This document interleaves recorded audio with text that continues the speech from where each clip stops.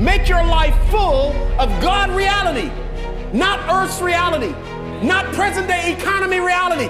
He says, steep your life in kingdom, in God reality. What's happening around me right now, even if I'm in foreclosure, is not what's real. You are a part of a political governing body called a Senate. And you now have jurisdiction. You are a senator seated with him in heavenly places, and nothing is allowed to go on without your permission.